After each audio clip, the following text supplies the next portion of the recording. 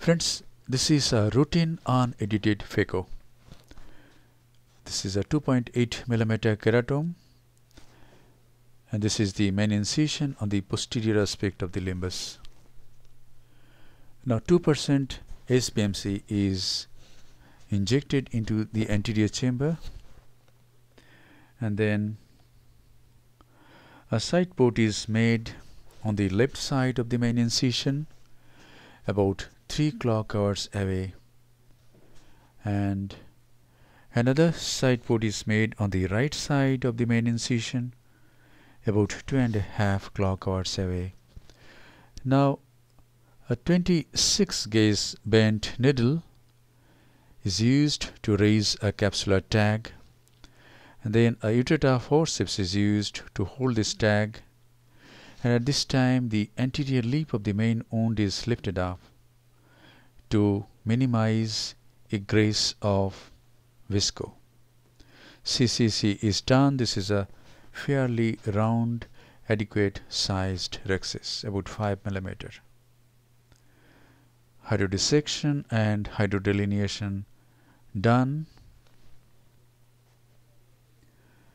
visco is again injected and now is the time to introduce the tip of the phaco needle into the anterior chamber. Here it goes.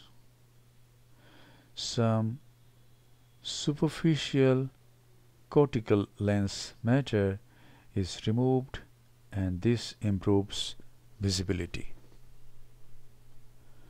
And now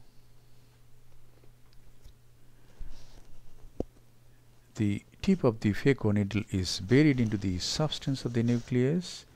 The nucleus is held firmly and it is chopped. This is direct chop. And now the small nuclear fragments, free nuclear fragments are emulsified and removed.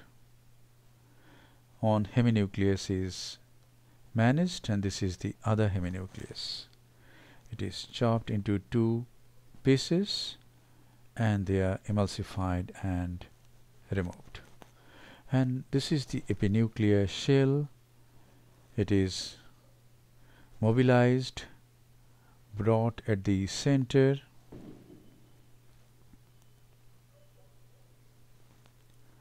and it is emulsified with very low ultrasonic energy say by 10% ultrasonic energy and it is done it is removed now we can see cortex cortical lens matter.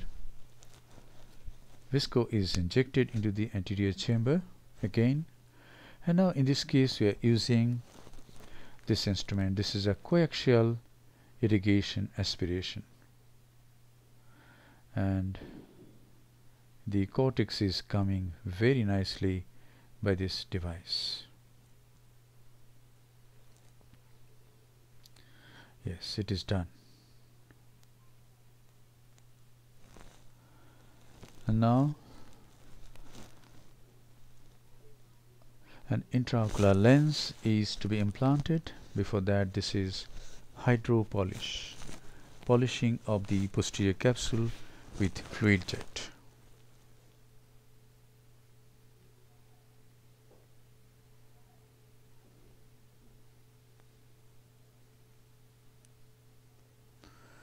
And now this is hydroimplantation of a monofocal single piece intraocular lens.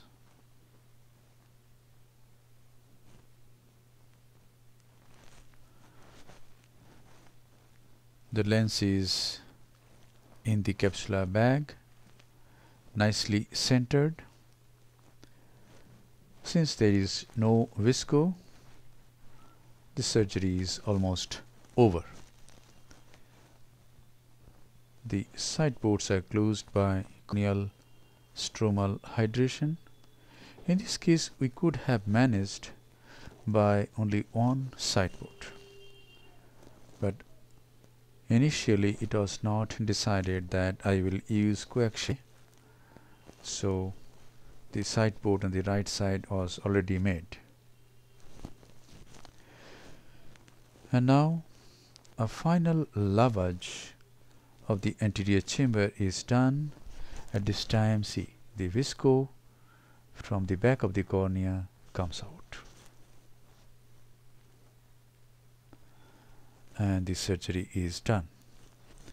Antechamber is nicely formed